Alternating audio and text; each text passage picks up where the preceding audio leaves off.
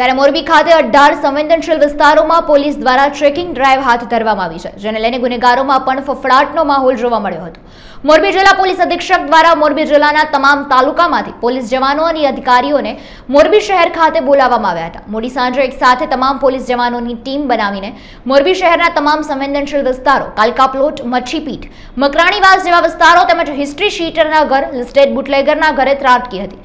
તેમજ અનેક ટીમોને મોરબી શહેરના રસ્તાઓ પર પણ ગોઠવવામાં જોકે કોઈ હોસ્ટ- હિસ્ટ્રી શીટર રસ્તા પર આવતા જતા દેખાય, તો તેને પણ રોકીને ટ્રેક કરવાની કામગીરી કરવામાં આવી હતી. આ કામગીરી થતા લોકોમાં પણ ચર્ચાઓ શરૂ થઈ હતી. મોરબી એસપી રાહુલ ત્રિપાઠીએ જણાવ્યું કે આજે ડે નાઇટ કોમ્બિંગ હાથ ધરાયું છે.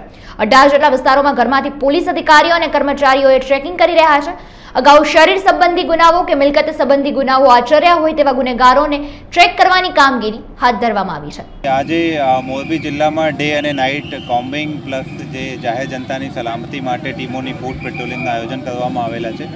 એમાં ટોટલ અલગ અલગ બાવીસ જેટલી ટીમો બનાવવામાં આવેલી છે અને જિલ્લાના તમામ જે પોલીસ અધિકારીઓ અને કર્મચારીઓ છે, અંદાજિત અઢીસો જેટલા પોલીસના કર્મચારીઓ આ કોમ્બિંગ ઓપરેશનમાં અત્યારે ભાગ લઈ રહ્યા છે. સિટીના અલગ અલગ અઢાર જેટલા વિસ્તારોમાં ફિક્સ પોઈન્ટ લગાડીને જે એને કામગીરીની વેચણી કરવામાં આવેલી છે. જૂના જે શરીર સંબંધી ગુનો દાખલ થયા છે, જૂના જે આપણે પ્રોપર્ટી સંબંધી ઓફેન્ડર્સ છે, એને ચેક કરવાની કાર્યવાહી આ સામાજિક પ્રવૃત્તિઓ સાથે જોડાયેલા અને ભૂતકાળમાં જે પોલીસના ચોપડા નોંધાયેલા જે લોકો છે, એના ચેકિંગ કરવાની કાર્યવાહી હાલ ચાલુમાં છે. એને જ એને જ પણ કરાવીએ છીએ. ગયા આપને ખ્યાલ હશે તો છેલ્લા એક અઠવાડિયાથી જે ટ્રાફિક એવા સિટીના જે ગીચ વિસ્તારો છે, જ્યાં ખરેખર પાર્કિંગની સમસ્યા થાય છે, આપને ખ્યાલ હશે કે આપને કેટલીક એવી રોડો છે છથી વધારે જ્યાં આપણે એકી બેકી પાર્કિંગની અત્યારે સિસ્ટમ એને જાહેરનામા અમલમાં છે અને એની અમલવારી પણ કડકાઈથી કરાવી રહ્યા છીએ.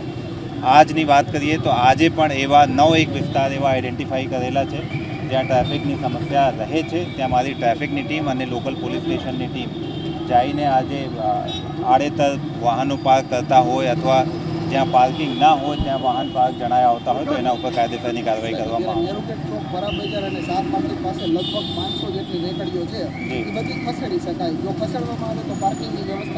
બિલકુલ. આ રેકડી બાબતના જે મેટર છે આ નગરપાલિકા સાથે એની ચર્ચા કરવામાં આવેલી છે અને આ લોકો એને યોગ્ય શિફ્ટિંગ કરી શકતા હોય તો શિફ્ટિંગ કરે અથવા એક વખત એના વ્યવસ્થાપનની વ્યવસ્થા કરીને આ ટ્રાફિકની ક્લિયરન્સ કરાવી આપણે આવા જ અવનવા વિડીયોઝ માટે અપતકની ચેનલને સબસ્ક્રાઇબ લાઇક અને શેર કરતા ના ભૂલશો. આ જ રીતે જોડાયેલા રહો અબ સાથે.